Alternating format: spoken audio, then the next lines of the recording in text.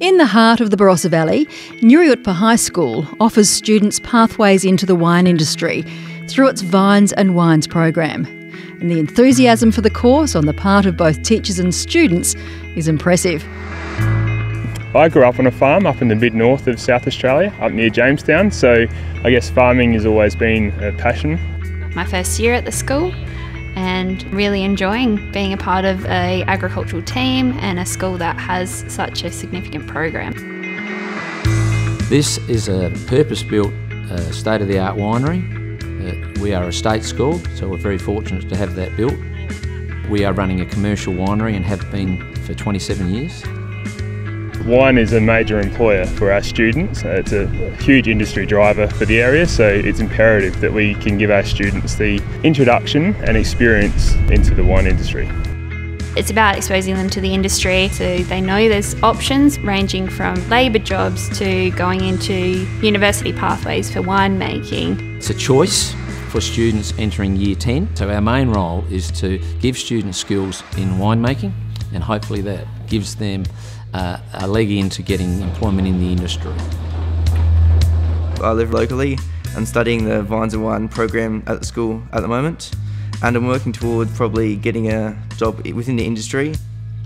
My whole life my family's been working living on a vineyard so I've helped out my whole life and I've loved the idea of just everything changes throughout the year, no two years are the same.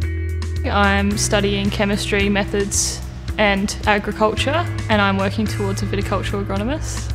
It's mostly the science behind growing grapes, essentially a vineyard.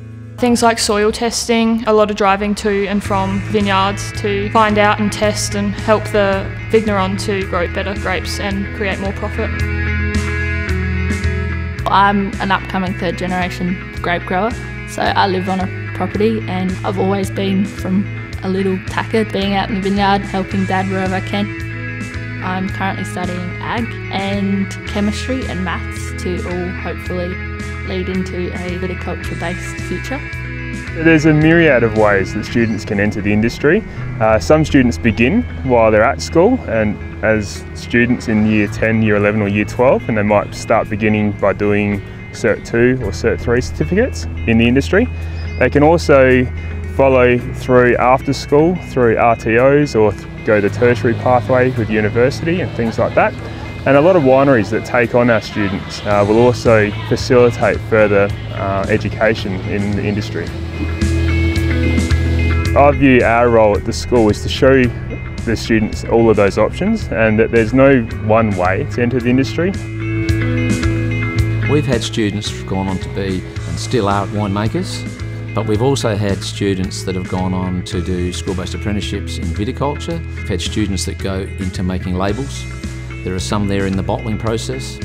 And all of those associated industries are what we're involved with in making of the wine. I'm a passionate believer in getting kids out into the industry, so I love taking kids out to a cooperage, for example, and seeing how barrels are made. Going to some of the big commercial wineries or even some of the smaller family wineries and, and just showing them the options of what's there, getting them onto a tractor.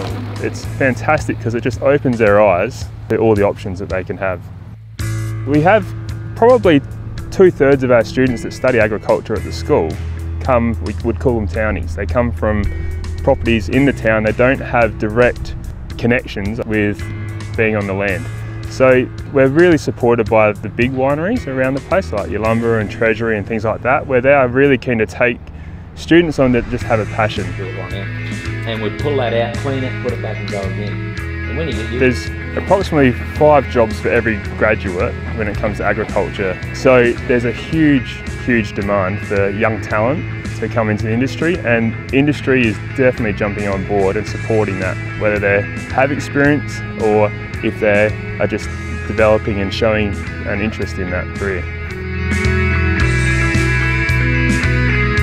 I would say passion, you have to be passionate in the wine industry. Being a lifelong learner is very important. I'm a big believer in that as a teacher here at the school and good communication skills. So whether you're operational viticulture in a vineyard or even a winemaker, those communication skills will hold people in good stead, I believe, in the industry.